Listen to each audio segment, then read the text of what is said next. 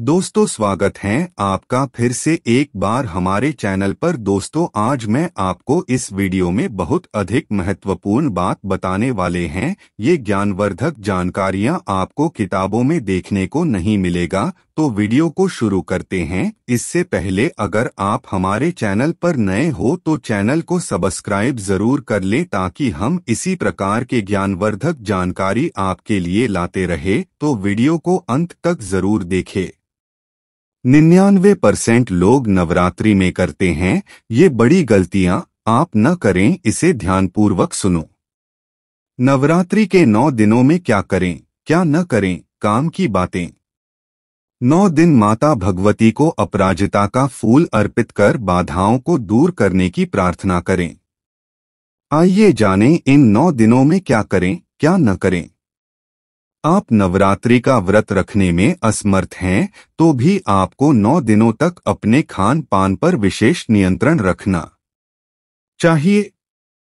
मांस मछली मदिरा, लहसुन और प्याज का उपयोग कतई न करें। सात्विक आहार ही ग्रहण करें। इन दिनों कोरोना वायरस का प्रकोप चल रहा है, ऐसे में आहार की शुद्धता का विशेष ख्याल रखें। माँ शक्ति स्वयं एक नारी हैं। इसलिए सदा नारी का सम्मान करें। देवी पुराण में उल्लेखित है कि माँ भगवती उन्हीं की पूजा अर्चना स्वीकार करती हैं, जो नारी का पूरा आदर सम्मान करते हैं। जो नारी की इज़्ज़त करते हैं, माँ लक्ष्मी उनसे सदा प्रसन्न रहती हैं। माँ भगवती उसी पूजा को स्वीकारती हैं, जो शांति, श्रद्धा एवं प्रेम के साथ की जाए। नवरात्रि के पूरे दिन घर में शांति का वातावरण बनाकर रखें। हर किसी के साथ प्रेम एवं सद्भाव का व्यवहार करें, तभी घर में लक्ष्मी का वास होता है। नवरात्रि के दिनों में घर में कलह, द्वेष और किसी का अपमान किए जाने पर घर में अशांति रहती है और बरकत नहीं होती। इस नवरात्रि में स्वच्छता का विशेष रखा जाता है। नौ दिनों तक सूर्योदय के साथ ही स्नान कर स्वच्छ वस्त्र पहनना चाहिए।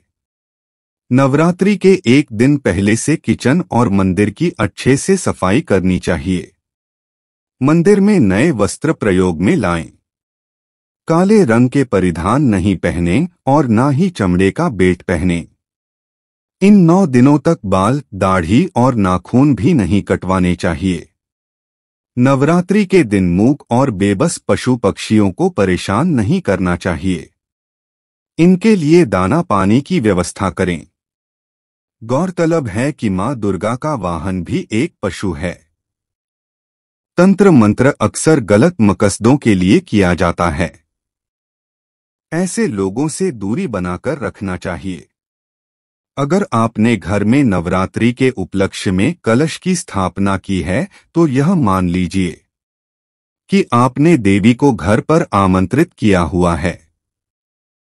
अत, दोनों समय उनकी पूजा आरती और नैवेद्य चढ़ाना न भूलें। साथ ही घर में पूरे नौ दिन में एक पल के लिए भी ताला नहीं लगाएँ। इसके अलावा बिस्तर पर नहीं सोकर ज़मीन पर सोना चाहिए। घर आए अतिथि अथवा भिखारी का अपमान न करें।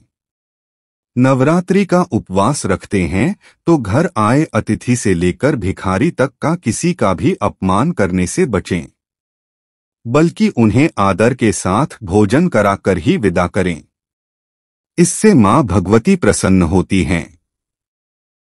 दिन के वक्त सोकर समय गुजारने से बेहतर है ईश्वर पाठ करें। प्रातः स्नान ध्यान कर अड़ोस पड़ोस के साथ बैठकर कीर्तन, रामायण पाठ इत्यादि करें।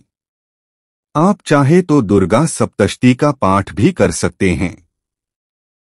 अगर आपने नौ दिन का उपवास रखा है तो पत्नी से दूरी बनाकर रखें। ब्रह्मचर्य का पालन करें। माँ भगवती की पूजा, अर्चना शुद्ध एवं पवित्र मन से करें। दोनों वक्त पूजा अवश्य करें। नवरात्रि में देवी माँ को प्रसन्न करना है तो इन तेरह कामों से बचकर रहें। भूलकर भी न करें यह बड़ी गलतियाँ। नवरात्रि में अगर अखंड ज्योति जला रहे हैं तो इन दिनों घर खाली छोड़कर नहीं जाएँ। दो नौ दिनों तक नाखून नहीं काटने चाहिए।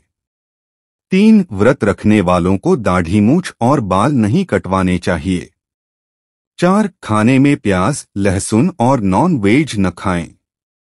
पाँच नौ दिन का व्रत रखने वालों को गंदे और बिना धुले कपड़े नहीं पहनने चाहिए। छह व्रत रखने वाले लोगों को बेल्ट, चप्पल जूते, बैग जैसी चमड़े की चीज़ों का इस्तेमाल नहीं करना चाहिए। सात व्रत रखने वालों को नौ दिन तक नींबू नहीं काटना चाहिए। आठ व्रत में नौ दिनों तक खाने में अनाज और नमक का सेवन नहीं करना चाहिए। नौ विष्णु पुराण के अनुसार नवरात्रि व्रत के समय दिन में सोना निषेध है। दस फलाहार एक ही जगह पर बैठकर ग्रहण करें। ग्यारह चालीसा मंत्र या सप्तष्टि पढ़ रहे हैं तो पढ़ते हुए बीच में दूसरी बात बोलने या उठने की गलती कतई ना करें। इससे पाठ का फल नकारात्मक शक्तियाँ ले जाती हैं। बारह शारीरिक संबंध बनाने से व्रत का फल नहीं मिलता है। तेरह कई लोग भूख मिटाने के लिए तंबाकू चबाते हैं, यह गलती व्रत के दौरान बिल्कुल ना करें। व्यसन से व्रत खंडित होता है। दोस्तों, ये वीडियो आपको कैसी लगी कमेंट करके ज़रूर बताइए, मिलते हैं अगले वीडियो में ऐसे ही ज्ञानवर्धक जानकारी प्राप्त करने के लिए हमारे चैनल को सब्सक्राइब करें।